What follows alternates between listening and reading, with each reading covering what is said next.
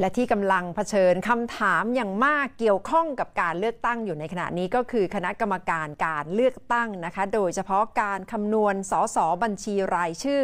หรือปาร์ตี้ลิสต์แม้แต่กรรมการร่างรัฐธรรมนูญก็ระบุว่ามีหลาย ๆ สูตรที่อาจจะนำมาใช้ในการคำนวณได้ และที่สุดแล้ว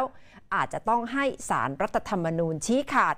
และวันนี้ที่ดูเหมือนจะชัดเจนจากกกตก็คือการสั่งให้นับคะแนนใหม่ใน 6 หน่วยเลือกตั้งค่ะคณะกรรมการการเลือกตั้งหรือกกต มีมติให้ยุติเรื่อง 4 หน่วย คือหน่วยที่ 1 เขตเลือกตั้งที่ 4 จังหวัดเชียงราย หน่วยเลือกตั้งที่ 7 เขตเลือกตั้งที่ 2 จังหวัดประจวบคีรีขันธ์หน่วยเลือกตั้งที่ 6 เขตเลือกตั้งที่ 2 จังหวัดสระแก้ว และจังหวัดพิษณุโลก เขตเลือกตั้งที่ 3 หน่วยเลือกตั้งที่ 18 ชี้ว่าเรื่องทั้งหมดไม่มีมูลตามคำร้องเรียน และหลังจากพิจารณาคำร้องด้วยข้อกล่าวหาที่แตกต่างกันไป แต่กกตมีมติให้จัดการนับคะแนนใหม่ 2 หน่วย และเลือกตั้งใหม่ 6 หน่วย จากสาเหตุที่มีจำนวนผู้มาใช้สิทธิ์เลือกตั้งไม่ตรงกับผลการนับคะแนน กกตได้มีมติในการประชุมเมื่อวานเนี่ยนะครับ แล้วก็สั่งให้มีการนับคะแนนใหม่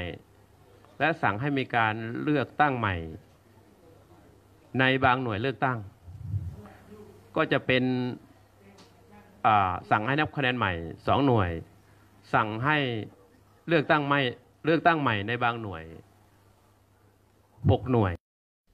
ขณะที่กกตยังคงอยู่ระหว่างการหารือ สรุปสูตรต้นแบบในการคิดคำนวณสสบัญชีรายชื่อศาสตราจารย์อุดมรัฐอมริต อดีตกรรมการยกร่างรัฐธรรมนูญหรือกรท ยืนยันว่าผู้เขียนกฎหมายมีสูตรเดียว และมีเจตนารมณ์ชัดเจน คือทุกคะแนนเสียงมีความหมายไม่ทิ้งน้ำและกรณีโอเวอร์แฮงไม่เคยมีหลักการคำนวณเฉพาะพักที่ได้สอสอเขต แต่ยอมรับว่าตีความได้สองทาง จึงขึ้นอยู่กับกกต ซึ่งถ้ามีข้อโต้แย้งก็นำส่งสารรัฐธรรมนูญวินิจฉัยตีความได้ ส่วนรองศาสตราจารย์สมชัยศรีสุทธิยากร อดีตกกตยอมรับว่า มึนงงกับเจตนารมณ์และข้อกฎหมายที่เขียนไว้ แต่ก็ชี้ว่าเป็นดุลพินิษของกกตทั้ง 7 คน กรณีการคิดสูตรคำนวณสสบัญชีรายชื่อ ช่วงเริ่มต้นเห็นตรงกันว่าสสหนึ่งคน ควรจะได้ประมาณ 71,000 คะแนน แต่เมื่อเกิดโอเวอร์แฮงหรือคิดจนสุดท้ายแล้ว แต่ผลที่ได้ตัวเลขเกินจำนวนสสบัญชีรายชื่อที่จะต้องมี 150 คน จึงทำให้วิธีคิดแตกต่างออกไปแบบที่ 1ทำให้ผู้ที่มีคะแนนต่ำกว่า 71,000 ก็สามารถมีที่นั่งเพิ่มได้ แต่อีกแบบหนึ่งยืนยันว่าสสหนึ่งคนจะต้องมีค่าคะแนนรับรองอย่างน้อย 71,000 คะแนนทุกคนสองวิธีคิดนี้จึงเป็นประเด็นที่ไม่ตรงกัน ตลอดทั้งวันยังคงมีคำร้องถูกยื่นถึงกกตอย่างต่อเนื่องนายชัดชัยณบางช้างสมาชิกพักเพื่อไทย ยื่นคัดค้านผลเลือกตั้งเขต 7 จังหวัดสมุทรปราการ และขอให้นับคะแนนใหม่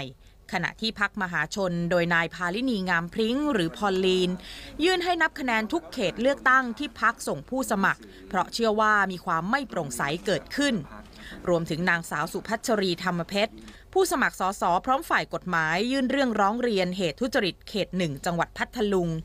นอกจากนั้นยังมีหัวหน้าพักการเมือง 10พักในนามกลุ่มสามัคคีสร้างชาติ ยื่นกกตให้ร้องคอสช เพื่อใช้อำนาจประกาศรับรองวิธีคิดคำนวณสสบัญชีรายชื่อ เพื่อยุติปัญหาการตีความกฎหมายโดยระบุว่าขณะนี้ยังมีความไม่ชัดเจนในผลการเลือกตั้ง และการคิดสูตรคำนวณ เพื่อจะทำให้ได้มาซึ่งสสบัญชีรายชื่อของพรรคการเมือง 150 คน และนายสรวิทย์สุวรรณนึก ประธานสภานักศึกษามหาวิทยาลัยรามคำแหง เข้ายื่นหนังสือเรียกร้องให้ตรวจสอบการปฏิบัติหน้าที่ของกกตอ้างถึงความผิดพลาดหลายกรณี จนทำให้ประชาชนไม่เชื่อมั่นในการจัดการเลือกตั้งให้โปร่งใสและยุติธรรม